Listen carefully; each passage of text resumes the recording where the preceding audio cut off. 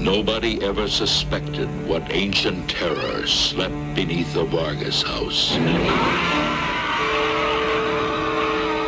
If you take a dilapidated, haunted mansion that's overflowing with evil, and you lock Richard Crenna inside with a group of hapless young people, don't forget one thing. A good supply of body bags.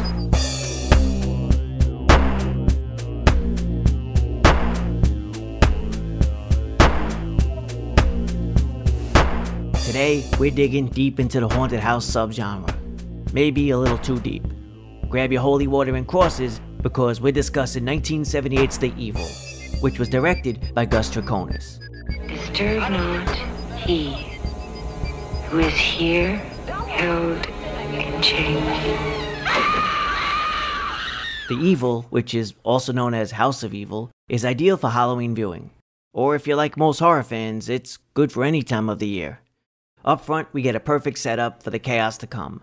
A husband and wife team of doctors attempt to convert an abandoned Civil War era mansion into a drug rehabilitation center. A group of young volunteers join them to lend a hand in this noble cause. The only problem? The mansion is built directly over a gateway to hell.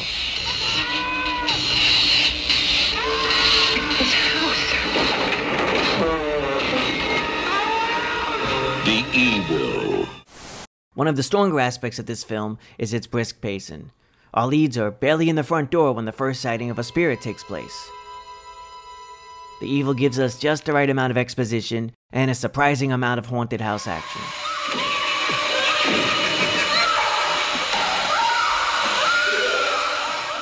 Some films of this nature include one too many scenes of someone investigating a mysterious noise, slowly checking it out, and then encountering nothing. Or maybe a cat will spawn from thin air. But The Evil is not one of those movies. Here, when someone makes the mistake of checking out a mysterious noise, there's a payoff. Nothing. A violent, horrific payoff. I should note, this scene of a caretaker who gets completely incinerated happens within the first six minutes. So from the start, it's made brutally clear what we're in for. The madness is really kick-started when our lead CJ discovers a hidden trapdoor sealed with the cross. Curiosity gets the best of him, he removes the cross, and all hell is unleashed.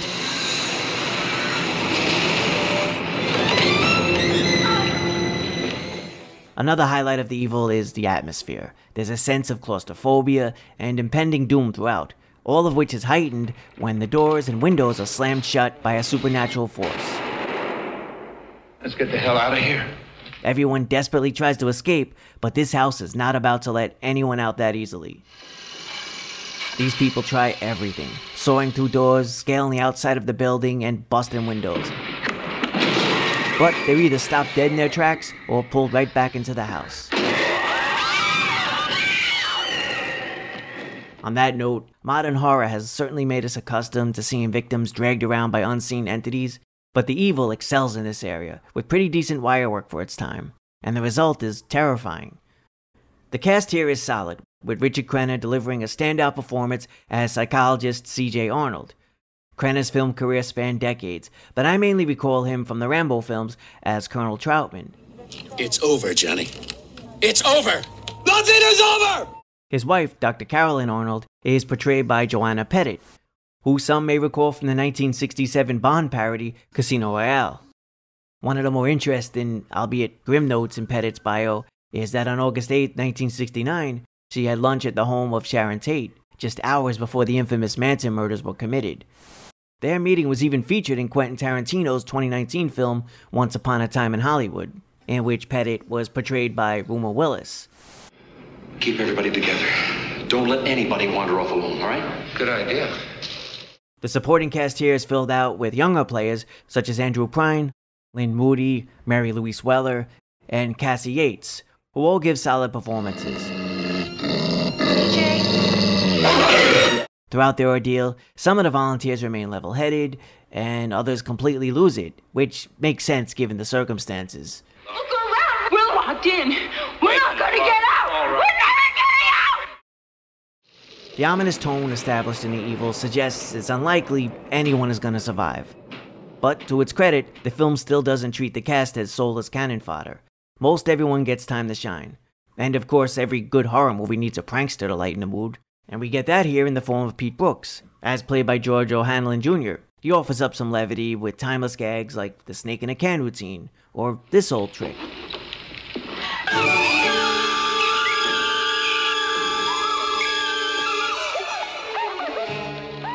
Gets them every time.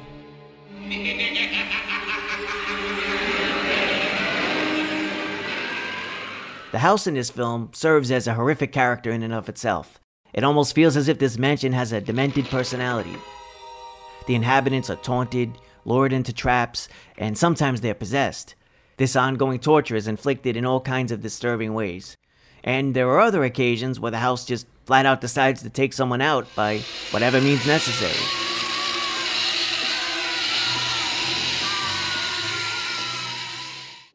I also have to note the Evil features an eerie score composed by Johnny Harris, which captures the bleak mood perfectly, especially when the unseen force is present.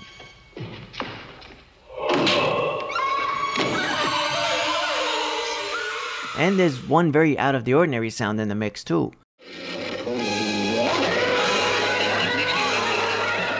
For some reason, when the bloodthirsty dog Kaiser is on the run, a TIE fighter sound can be heard. Why is there a TIE fighter sound mixed into this otherwise horrific soundscape? I don't know. In any case, if this movie proves one thing, it's that maybe we need more random TIE fighter sounds in horror movies.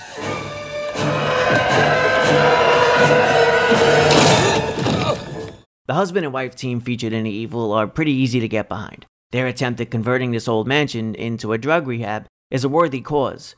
They just happen to choose the worst place imaginable. Joanna Pettet does very well here. Her character basically embodies faith. Her willingness to believe actually helps keep her a few steps ahead of everyone.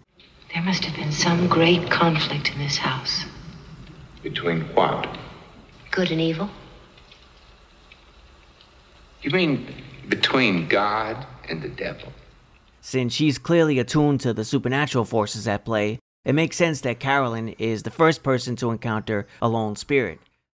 Later, she attempts to piece together clues from writings left behind by the previous homeowner, a Civil War general named Emilio Vargas. So her character is given more than enough to do here. Well, you can all sit here and discuss theology if you want. I'm gonna try to find a way out of here. In stark contrast to his wife, we have CJ, our non believer. Even in the face of bloody insanity, CJ continually insists there must be a logical, scientific reason behind everything. This guy's skepticism does get questionable at certain points. I mean, how many bizarre deaths do you have to witness before you open your mind? This deep questioning as to the true nature of what's happening and the religious implications works extremely well. Now, I have to touch on the finale, which is insane. So, from this point on, we'll be going into heavy spoiler territory. That said, if you want to check out The Evil, it's out there on Blu ray, and it's presently floating around and watch free on Tubi and elsewhere. Okay, let's go. So, after the house finishes wiping out the entire group of volunteers, we learn that the apparition Carolyn has been seeing is actually the spirit of the previous homeowner, Emilio Vargas. Carolyn becomes possessed by Vargas, and he uses her body as a conduit to tell CJ that the evil was unleashed because he unlocked the pit. Good going, man. With that, CJ and Carolyn grab the cross and head down to the cellar to seal the gateway. Unfortunately, a powerful force knocks Carolyn into the pit. CJ goes after her and ends up in a creepy white cavern where he meets, you guessed it, the devil himself. This is definitely one of the more unique takes on the devil. What is it you want? After all I've put you through and you still don't know. Here, Satan is portrayed by character actor Victor Buono, who was no stranger to villainous roles. He also appeared in films such as The Strangler, Hush Hush Sweet Charlotte, and you may recognize him as the villainous King Tut from the 60s TV series Batman. Despite his limited screen time, Buono's depiction of the devil is a real highlight. He has a vile, sinister presence, and the subtle manner in which he grows increasingly devilish from shot to shot was just creepy as hell. By now, CJ is finally a true believer. He refuses to give up the one item the devil desires. Your cross. It's a thing of God. How could it come here? the devil responds to this defiance by torturing him. Thankfully, Carolyn saves the day with one swift stab to the chest. Together, she and CJ escape and seal the pit once and for all. We then get a great moment when the windows and doors of the house finally reopen. As CJ and Carolyn flee from this hellhole, the spirit of Emilio Vargas watches from a window. Now, many people, including the director himself, are not fans of this ending. It's even been rumored that alternate prints of the film exist with the entire devil sequence completely cut out. So, I guess I'm alone in being a fan of this conclusion. Granted, we lose some of the intrigue with the reveal that Satan is pulling the strings, but I still feel like the inclusion of the devil works. Majority of the film featured the evil as an unseen force, picking off victims one at a time slasher style. But all the same, I also enjoyed the contrast of this bizarre, almost otherworldly encounter. All of which does tie right back to the biblical conflict suggested earlier by Carolyn. But I think the main reason this finale worked for me is that by establishing the culprit behind the carnage is the devil himself, you can't get any more evil than that. That turns laughter into screams. For the house belongs to the evil. The Evil is another easy horror pick for me to recommend. This 1970s gem isn't exactly widely known, so if you've never seen it, I'd say give it a shot. I'd rate The Evil 4 out of 5 possessed dogs. If you have seen The Evil, feel free to comment below.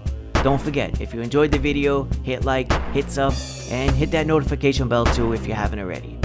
Thanks for watching everyone. Be well, stay safe, and take care. Later.